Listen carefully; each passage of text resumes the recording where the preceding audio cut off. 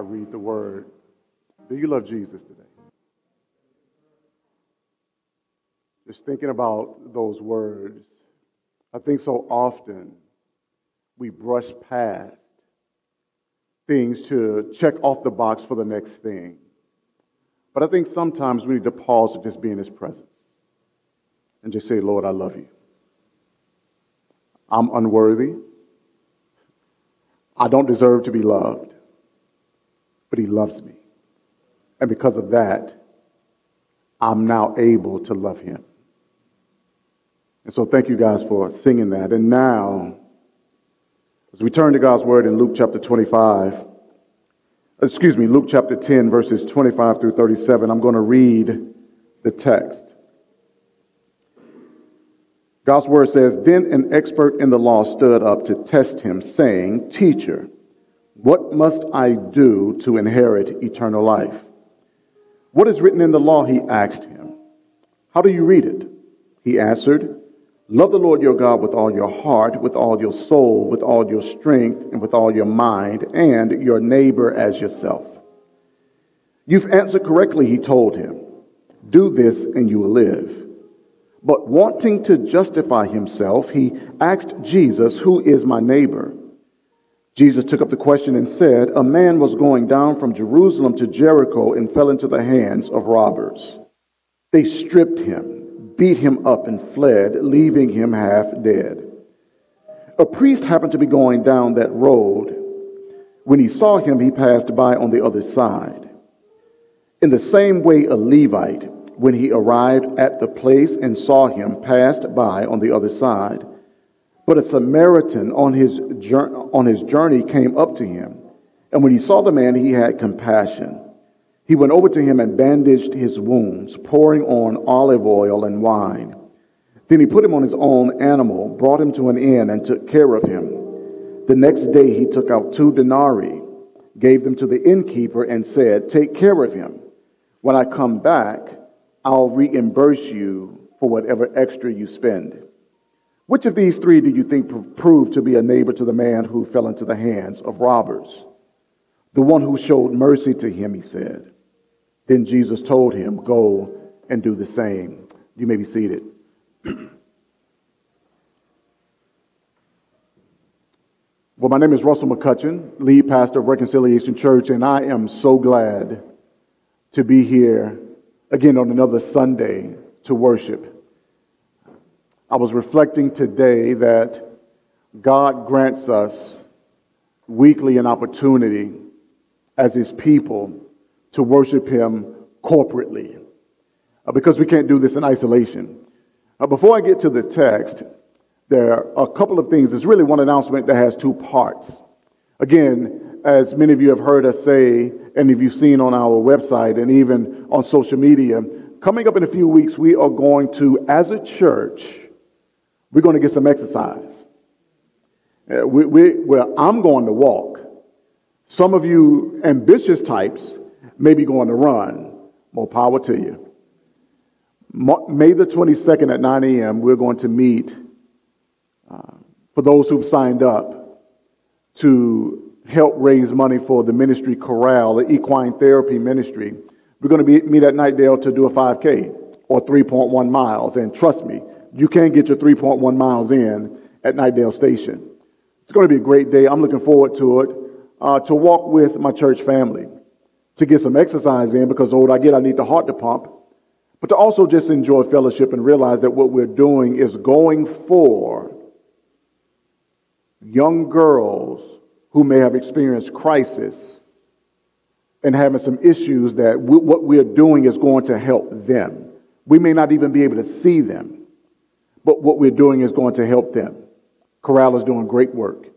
Now, an opportunity before that, a week before that, uh, this week we're going to have it. Um, I'm going to make sure that this link is up on the website.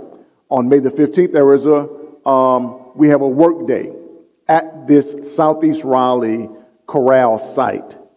Uh, some of you may love horses. I praise God for you. Uh, not your boy. Uh, but we get an opportunity to go on this camp and work to get a get an idea of what this ministry is, hands on. Uh, I've already signed up it's an Eventbrite link. It's free. Um, and when you see this link, man, I hope some of you would join me on, on May the 15th, Saturday. I think the time is 9.30. Um, just go out there, man. It will be done before, by, by, noon. Uh, but just going out there to not only work, but then to hear from uh, the director of that site and what they do. Her name is Lauren.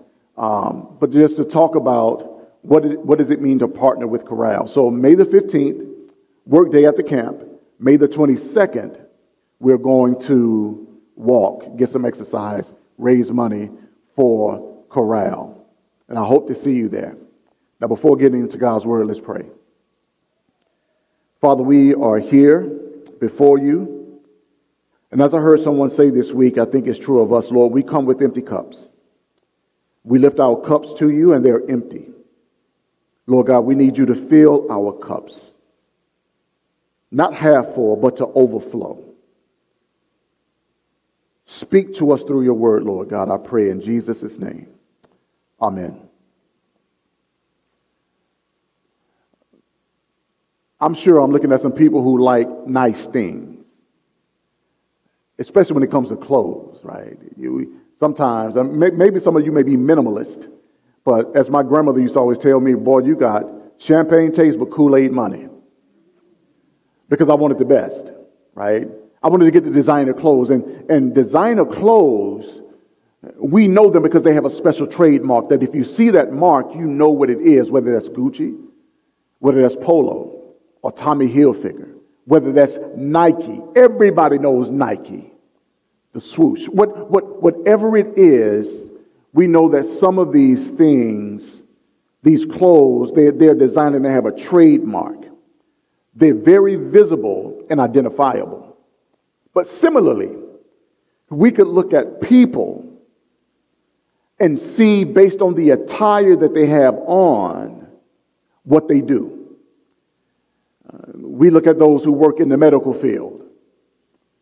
We see him or her and see how they're dressed and know that, oh, you must be either a doctor or you work in the medical field.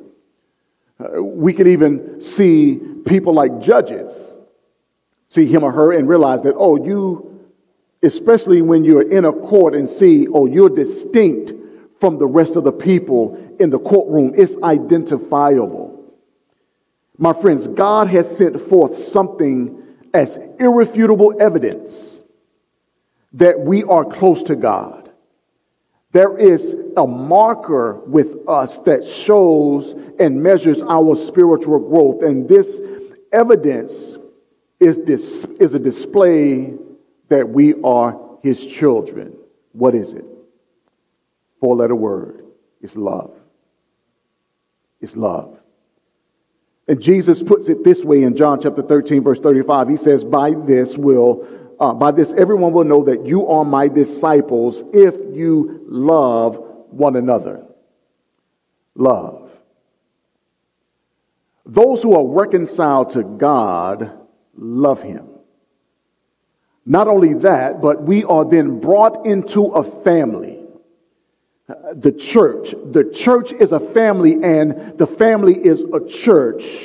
In this family, we love one another. Now, family reunions. If you go to them, we all have a family member that we just don't want to be around too long. It's like, yes, something wrong with her. Some, something's wrong with him. They're going to start saying something, and we don't want to be around them, but we love them. Why? Because they're family. They're family. This is the mark of, a, of the believer. And Jesus expands this uh, to show who else we show love to. He said in Matthew chapter 5, verses 44 and 45, he says, But I tell you, love your enemies and pray for those who persecute you. Is that hard?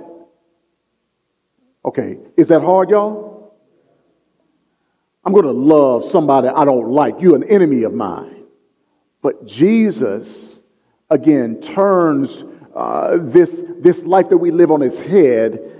Uh, it's almost like an upside down kingdom. The way that we normally do things, he says, no, no, that's not how it is in my kingdom. Jesus says, love your enemies and pray for those who persecute you so that you may be children of your Father in heaven. This is beautiful because God who created us loves us even when we were enemies of his. It goes on to say, For he causes his sun to rise on the evil and the good and sends rain on the righteous and the unrighteous. My friends, today we are continuing to talk about reconciliation and what it means to be reconciled to God and to one another. The definition that we shared last week came from a book called Radical Reconciliation, where the authors are Curtis Paul DeYoung and Allan Boesak, a white man and a black South African. I want to, I think the definition we have it um, maybe on the screen, but if not, this is what we said reconciliation is. Reconciliation can be understood as exchanging places with the other. This definition comes from the book. Overcoming alienation through identification.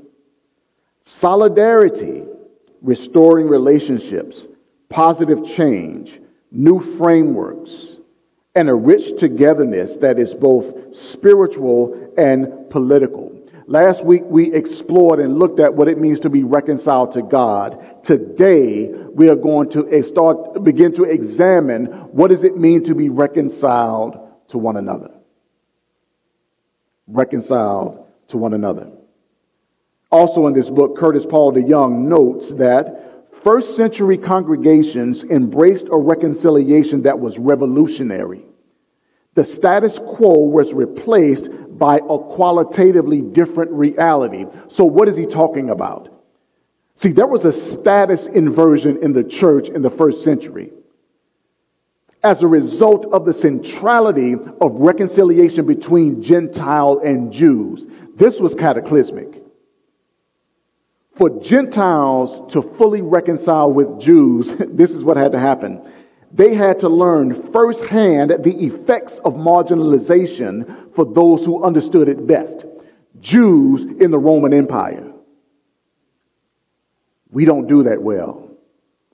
A status inversion, right? Being able to know what it feels like for those who are marginalized. That means we need to get in their shoes. See, however, in the 21st century church, it has been constructed on a different model than the first century church. The first century church was about reconciling two opposite parties. We are now under the lordship of Christ. We must be together. The 21st century church, we give lip service to it, but we in actuality live a different reality. Our model has produced segregated congregations and denominations defined by race and ethnicity. The first century church was about transforming society through reconciliation.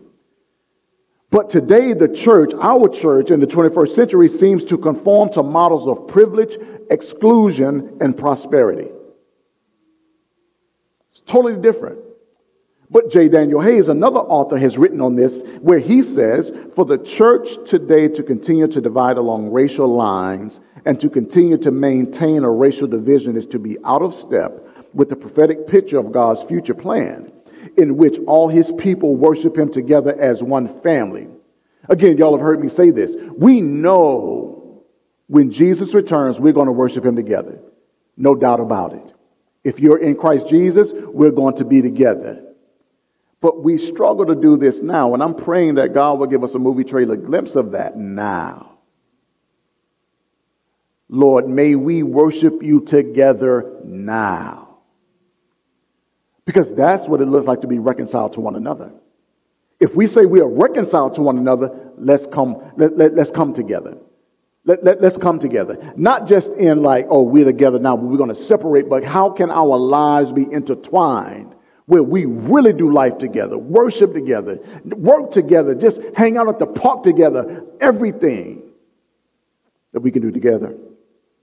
In our text today, we have the story of an expert in the law. He is also known as a scribe in Scripture. So when I say scribe or expert in the law, I'm talking about the same person. And he came to Jesus to test him with a question. He came to Jesus and he said to him, What must I do to inherit eternal life? Jesus then points him back to the law and says, How do you read it? He then says, and he answers correctly, Love God and love neighbor. Jesus says, You've answered correctly. Now go and do what you just said. But then he wanted to justify himself by saying, then who is my neighbor? And that's when Jesus gives us this, this parable that many of us know that we call the Good Samaritan. And this Samaritan was an unlikely person who would exchange places with the wounded man. Remember our definition, right? Identifying with those who are other and alienated. Solidarity. This is what the Samaritan does. He took care of him. The Samaritan shows us what it's like, what it looks like to love. As a matter of fact, the Samaritan had the strength to love. If we say we are reconciled to one another, do we have the strength to love one another? Do we have it? See, in the text, Jesus shows us that to love God is to respond to Him on every level. Every level, not just one. Uh, the one level is the message of the gospel. What is this message? We have all of the scriptures now. We know the message of the gospel is that, that Jesus, this good news, he came and took our place. He died for our sins. He was buried and then raised the third day. Now, if I'm honest, many of us love to stay there and say, I'm saved. He died for me. But no, no, we have to respond to him on every level because the next level is a loving concern for others. You can't have one without the other. One is orthodoxy, orthopraxy, orthodoxy, right belief, ortho, orthopraxy, right behavior, right actions. Right actions point to ethics. Ethics is not a matter of abstract reflection. It's not. It's a reflection of character that combines listening to God with service to people. This is what we see with the Samaritan. This is what we see with him. And so the text begins in verse 25 with the expert in the law standing up to test Jesus. Let's not rush past that point. This is, this is good. This is something that we need to pay attention to. Now, let me attempt to turn your ears to eyes I, I need you to picture the scene because this was a typical Jewish teaching scene. We don't normally do this. Jesus would have been seated, surrounded by his disciples and other hearers. So he is teaching, and, and people are sitting around him. And if his disciple or someone else wanted to stand up, they, their standing up was to honor the rabbi and to speak or to ask a question. But it's evident that this expert in the law, this scribe, did not want to honor Jesus. He was trying to test him.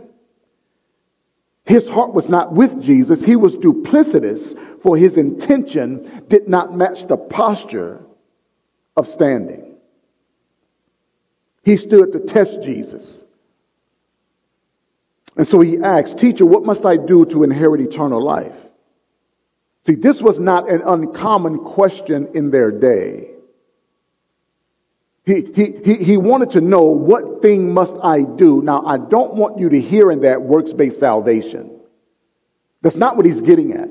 But he, does want to know what, what, what do I need to do to ensure? Like, in other words, how, how could he share in the resurrection of the righteous? And so Jesus responds with a question. Now, if it was me, somebody asked me a question. I don't know if you like this. When someone asks you a question, you're always trying to give an answer, right? You're always trying to give an answer. You ask, you ask me that question. We, we don't even know how to say, I don't know, right? We are just start rambling to try to get at an answer. Okay, I'm out of myself then. Um, just start rambling because we don't even know. We're just talking all over here. And, and instead of just saying, look, I, I'm sorry, I don't know. Or to push this person toward knowledge to ask another question. This is what Jesus did. Instead of giving him an answer outright, Jesus then says, How do you see the text? How do you see the law? He turns to the Word of God, and for me, this is beautiful. This is beautiful because it shows us that everything we need is found in the Word of God. Everything we need is here in the text. We have it, the written word. And Jesus points him to it. And so the scribe responded in verse 25, I mean, excuse me, verse 27, he said, Love the Lord your God with all your heart, with all your soul, with all your strength, and with all your mind, and your neighbor as yourself. Jesus says you have answered correctly. You got it right, brother. You got an A on the test. But it wasn't enough to just ace the test. He says, do this and you will live. Many of us can answer the question on what is the gospel. The question is, are we doing what the gospel says? It's not enough to know what the text says. We must do what the text says. We do not have a faith that is detached from the actualities of life. Jesus didn't proclaim the gospel from heaven, he came to earth. He came where we are. Love God and love neighbor where we live.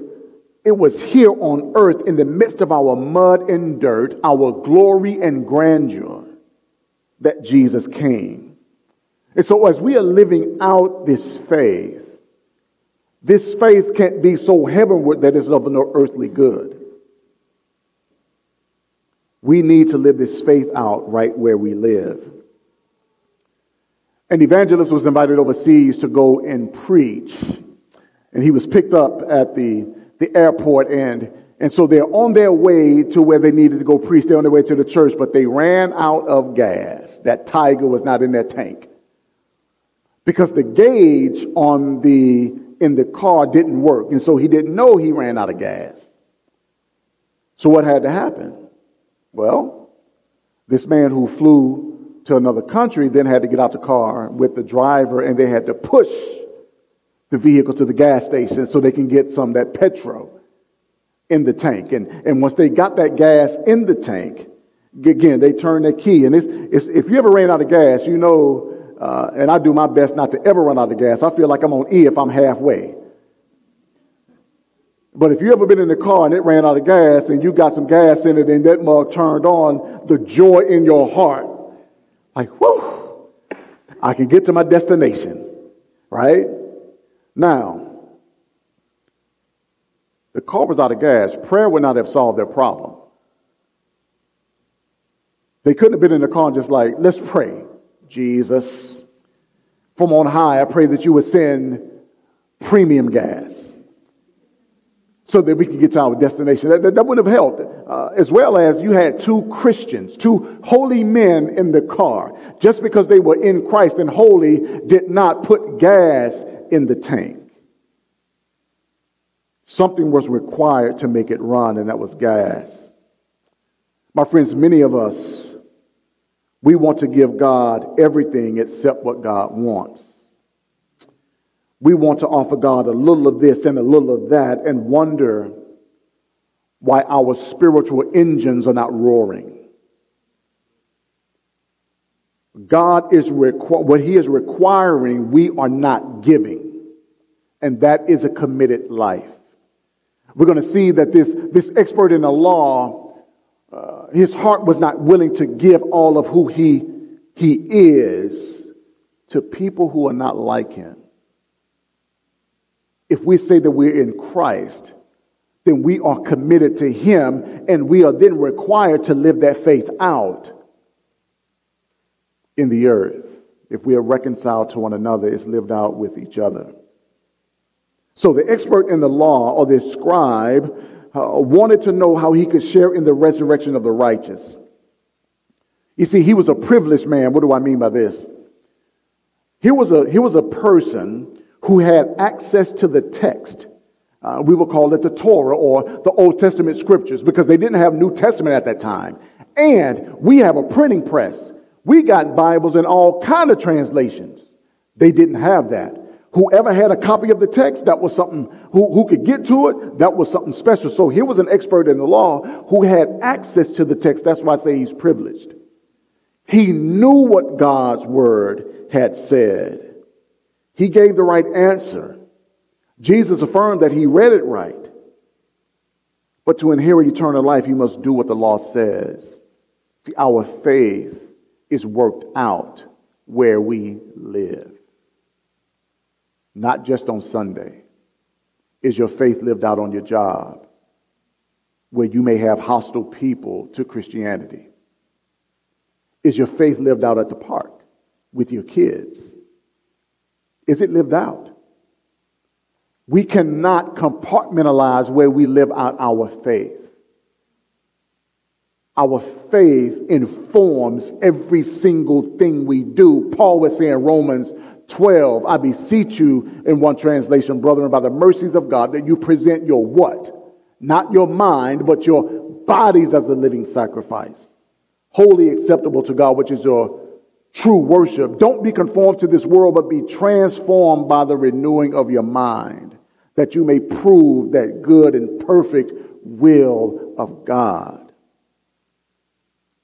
But next, in the text, we are told a story. Jesus gives a parable because the scribe would ask Jesus, And who is my neighbor? I'm supposed to love him. Who is my neighbor? He's not asking this because he really wants to know. He's asking because the text said he wanted to justify himself. And in this parable, Jesus begins to speak about a traveler. A traveler. Because he said in verse 30, he said that this man was going down from Jerusalem to Jericho and fell into the hands of robbers. They stripped him, beat him, and fled, leaving him half dead. Again, let's picture the scene. Let's turn these ears to eyes. Because the road from Jerusalem to Jericho was a tremendously dangerous road. Jerusalem sat 2,300 feet above sea level.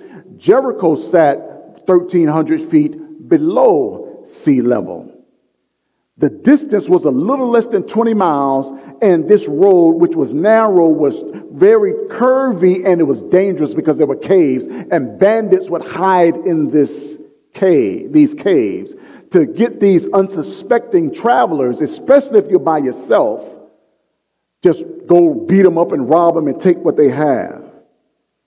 The text seems to show us that this man was alone. Now, in our day, we would look at that traveler and say, Why would you do that? You're foolish, right? We would say something like this about the traveler. If he didn't just wear a hoodie at night, he wouldn't have gotten killed, Trayvon Martin. We, we, would have said that if he hadn't been out in front of the store selling CDs and resisting arrest, he wouldn't have got shot, Alton Sterling. Or, or, or if you had not been selling loosies or single cigarettes, you would have not been choked to death, Eric Garner. See, we have a habit of blaming the victim. Have you ever done this? Have you ever blamed the person who suffered?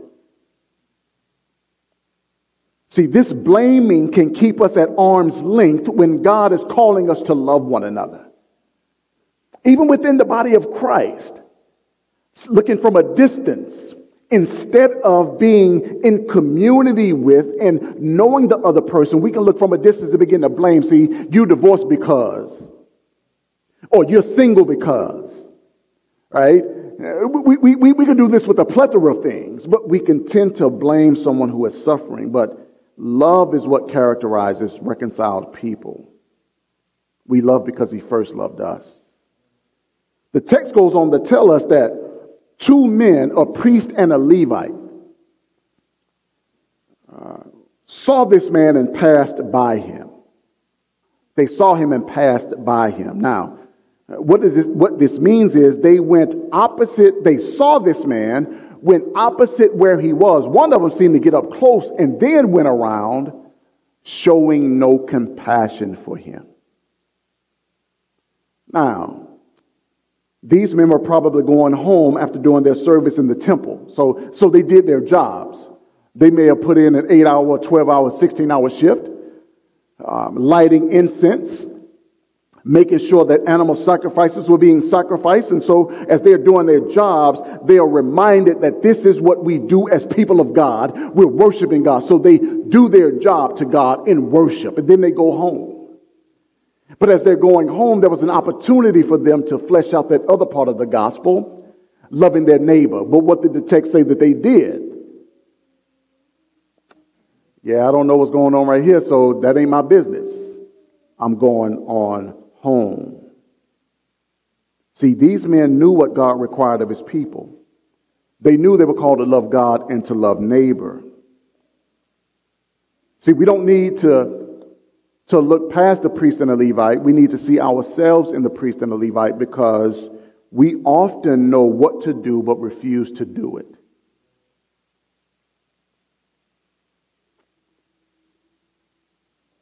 Especially in our world, in this reformed PCA Acts 29 world, we love the creeds.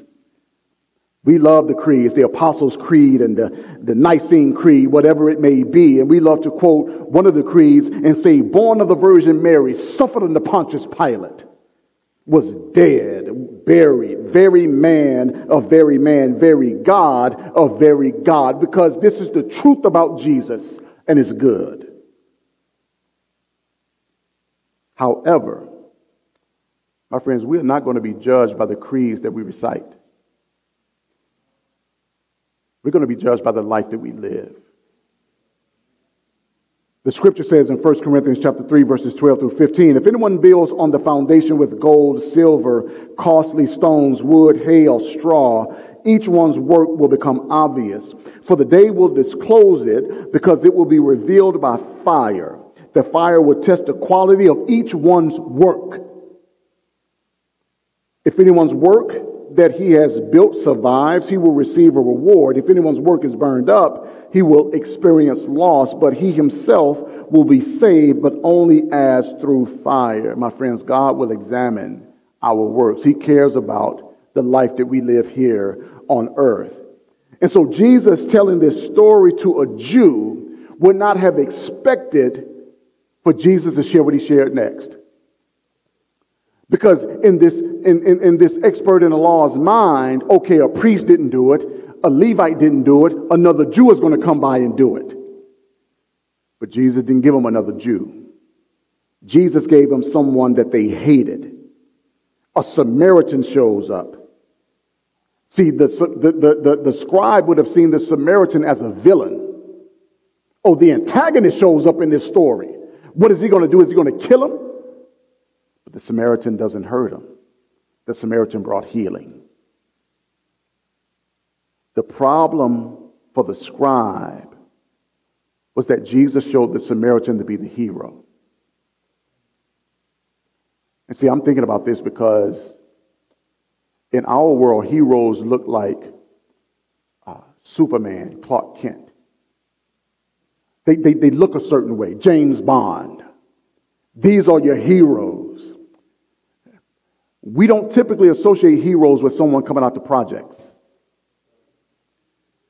We don't associate heroes coming from places like South America or places where, again, I'm just talking about where we live, where we as Americans look at communism and say, oh, can a hero come from there? We don't see heroes like that.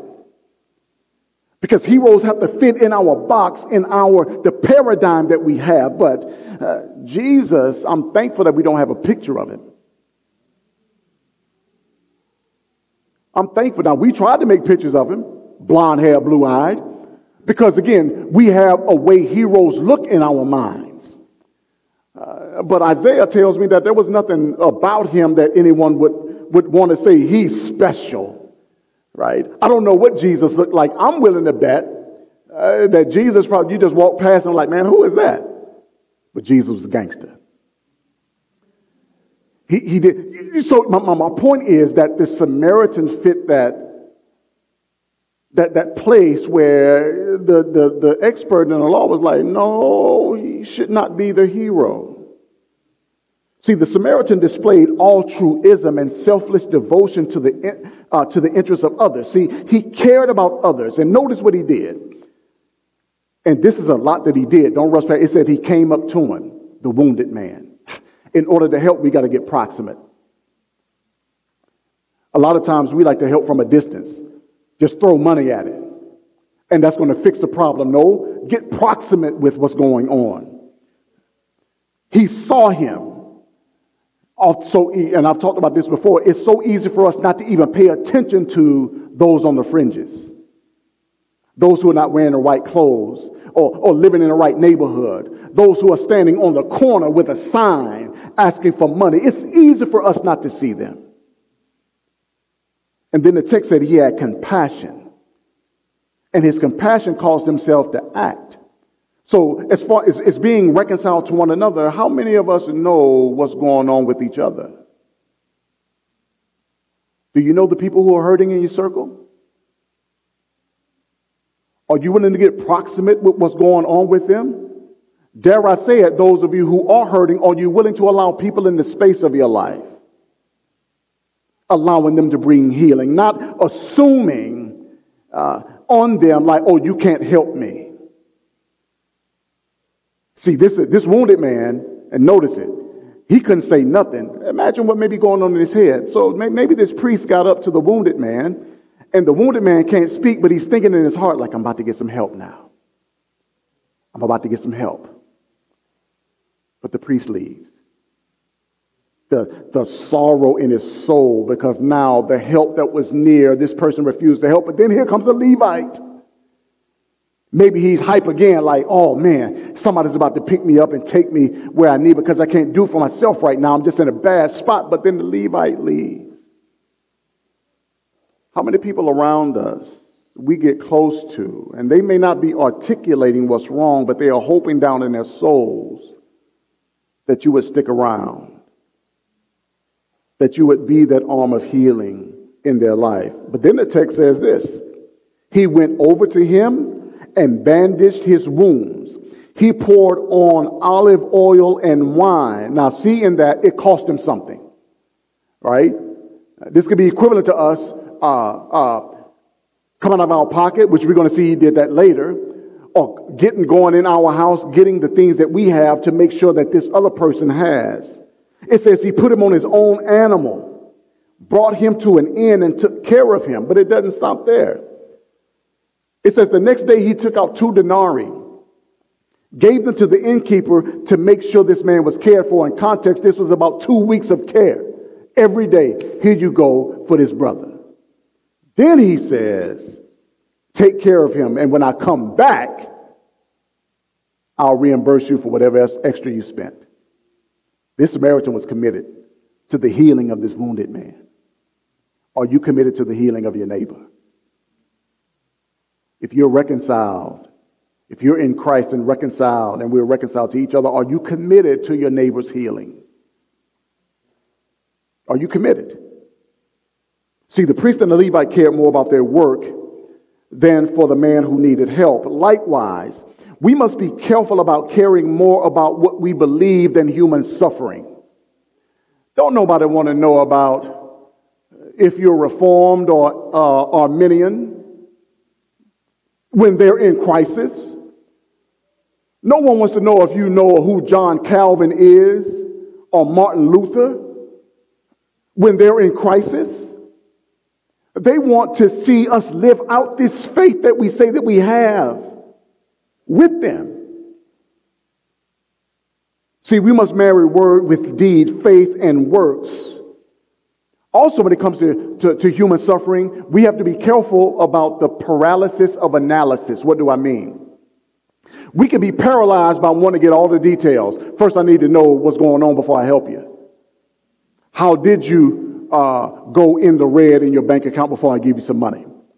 How, how, what's going on? So, why did you go get beat up? Did you drive in the wrong neighborhood?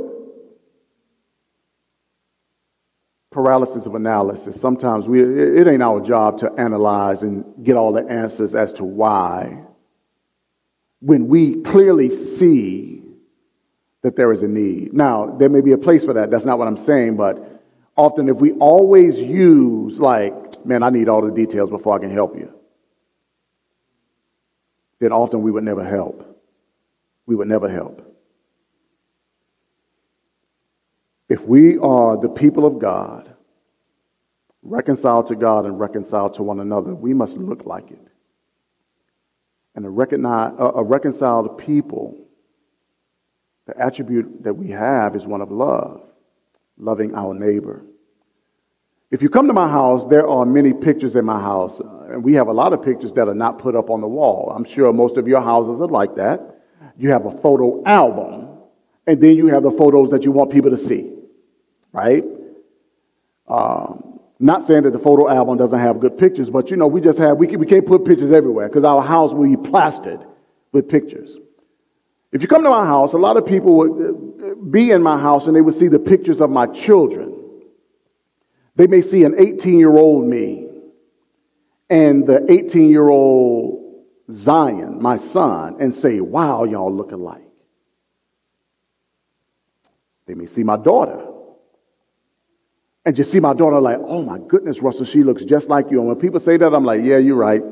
There's no way I can deny these. They are for sure my children. Why is this? They look like me because of a DNA connection. There's a DNA connection. See, my essence was transferred to them, and in the process of development, they wound up looking just like me. My friends, we have the DNA of Christ.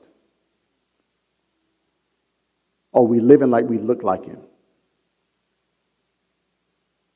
As those who are reconciled to God, we ought to live like we are reconciled to one another, but often we look like the priest and the Levite. We allow barriers to keep us from other people like race. But reconciliation transcends national and racial barriers, just as giving and receiving mercy transcends national and racial barriers. The Samaritan was not a Jew, yet he was willing to help a man who was not like him. Why? Because the Samaritan had God's heart. That's what we see in the text. The Samaritan had the heart of God. The Samaritan shows us that we can be used to comfort the hurting. He was a neighbor. See, we tend to always think of a neighbor as a noun, like who lives next door to me, that's my neighbor. But Jesus is not making neighbor a noun, he is making it a verb. Are you neighboring well? Are you a good neighbor? To be a neighbor is to assist others regardless of race or any other barrier. But again, sadly, we allow barriers like racism and classism to hinder us from being neighborly. And Jesus says, talk about who is my neighbor. We know in scripture that's anyone we come in contact with. My friends, we can't engage in reconciliation on our own terms. And I say this lovingly, but we need to understand this as we matriculate in society. Those in dominant culture often want people in subdominant cultures to come to them in places where they feel comfortable and in control. Those in dominant cultures don't often want to go into the space of subdominant cultures where they have no control and to submit and come under. They often want to get, get to places that are multicultural without going through the process of reconciliation. And we're going to talk about that next week when we look at Zacchaeus, because there's a lot there. Just like first century congregations, status inversion is vitally important to reconciliation, especially for those who are privileged. This story is a beautiful story it moves us beyond ourselves to care for someone else. This is what reconciled people do. My friends, a private faith cares only about itself. But our faith is personal and communal. This means that my life has consequences not only for myself, but for everyone else and other people's lives have consequences for me. So I end as a person who's reconciled to God. Will you be a good neighbor in this body? Let's pray. Father, we do thank you and we praise you for who you are. Lord God, I thank you for what you've given us in your word. How you continue, Lord God, to to expose us and to share with us your heart. Lord God, may we look at the example of the Samaritan thinking about who we are as reconciled people within the body. And I pray that we will have the strength to love our neighbor. Strength to love those who are my brother and sister in Christ. Strength to even love our enemies. Help us to be witnesses in this world, Lord God, through word and deed. We ask this in the name of Jesus Christ. Amen.